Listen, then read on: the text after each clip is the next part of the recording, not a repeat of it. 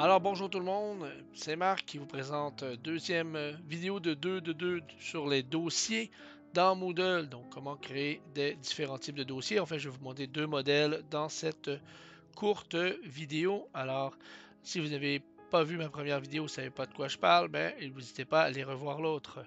Alors c'est parti. Alors dans votre espace court, première chose, vous devez évidemment être enseignant et activer le mode édition. Ensuite, vous devrez évidemment vous déplacer dans la section dans laquelle vous souhaitez ajouter votre dossier. Alors ici, et ensuite, cliquez sur Ajouter une activité ou une ressource. Dans la fenêtre qui suit, vous glissez jusqu'en bas et vous allez sélectionner Dossier juste ici.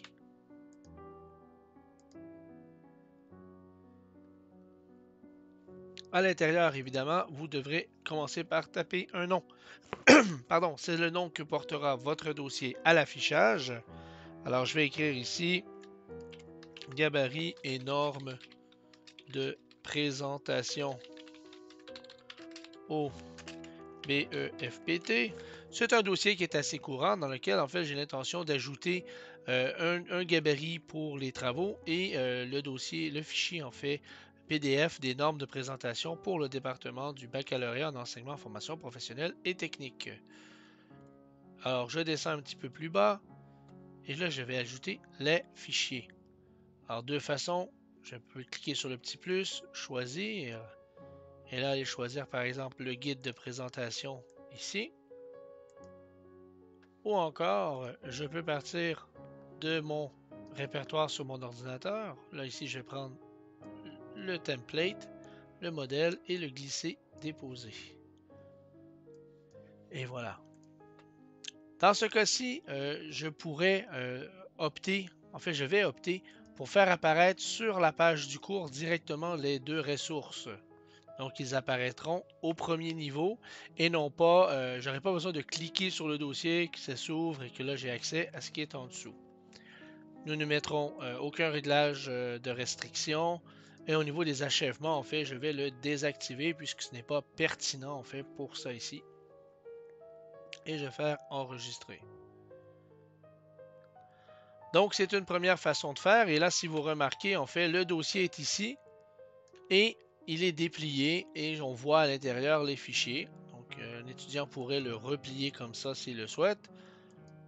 Mais il peut aussi directement cliquer sur les fichiers et ça télécharge en bas.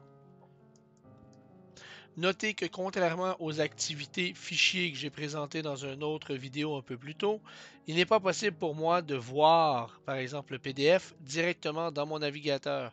Aussitôt qu'on clique sur un fichier qui est contenu dans un, dossier dans Moodle, il force le téléchargement. Voyons maintenant un autre type de dossier. Alors, je refais à nouveau Ajouter une activité. Je descends et choisis Dossier et Ajouter. Ici, euh, je vais y aller avec euh, un autre nom, par exemple, activité, ou plutôt atelier 1, euh, par exemple. Je vais faire un atelier pour mes élèves. Et là, à l'intérieur de cet atelier, par exemple, je pourrais avoir une consigne, ce que je vais aller chercher, par exemple. On va y rapidement. Peut-être ici.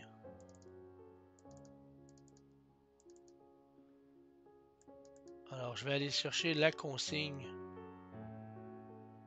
de mon travail ici. Et là, hypothétiquement, vous pouvez imaginer que peut-être mon travail va nécessiter des fichiers. Alors, je vais créer un dossier que je vais, aller, je vais appeler fichier pour l'atelier. Vous pouvez imaginer en fait que, par exemple, si je suis en comptabilité, ça pourrait être des fichiers euh, comme des factures, des images, des trucs comme ça. Si j'étais dans un autre métier, je ne sais pas, en éducation à l'enfance, je pourrais avoir des activités à l'intérieur du fichier et me consigne de dire quoi faire avec. Euh, peu importe le métier, vous avez possiblement des logiciels également qui sont propres à votre métier. je vois qu'il a fait une petite faute euh, ici sur le nom. Je vais juste revenir. En fait, c'est pas commode. Vous voyez, je peux revenir. J'ai fait une faute.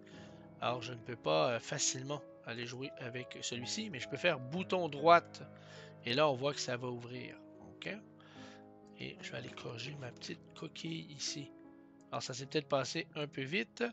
Alors, si vous cliquez directement dessus, ça s'ouvre. Si vous faites bouton droit, ça s'ouvre comme ça. Puis là, on voit qu'il n'a pas trop aimé euh, l'apostrophe.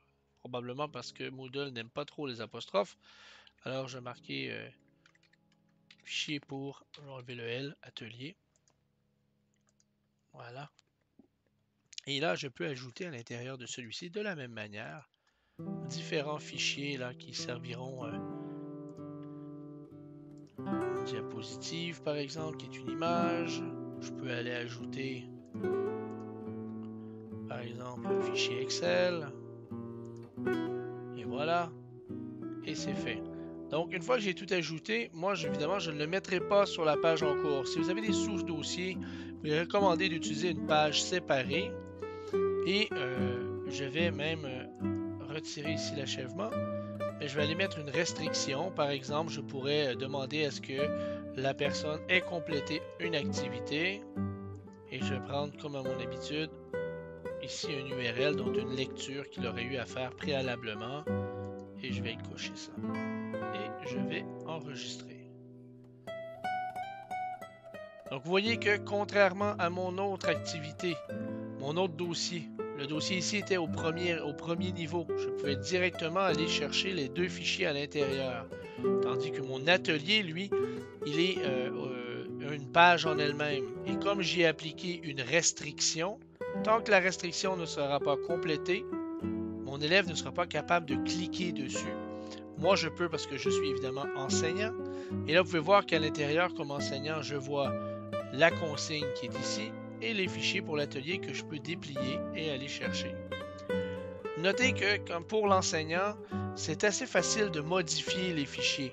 Donc, vous allez ici, vous faites modifier et ça ne vous ouvre pas toutes, euh, tous les paramètres du dossier, seulement euh, les fichiers qui sont présents. Euh, je pourrais aller avec lui, par exemple, le supprimer, dire que j'en ai plus besoin, et puis en ajouter une version peut-être plus récente de la consigne, par exemple, tout simplement comme ça. Et enregistrer, et immédiatement, on voit que été mis à jour. Donc voilà, c'est les deux façons les plus euh, simples d'utiliser la ressource euh, dossier, qui est quand même très intéressante lorsque vous voulez compacter ensemble un ensemble de ressources, euh, par exemple des fichiers gabarits et des fichiers consignes, pour un même travail, une un même atelier. Donc euh, voilà, c'est tout pour aujourd'hui. À la prochaine.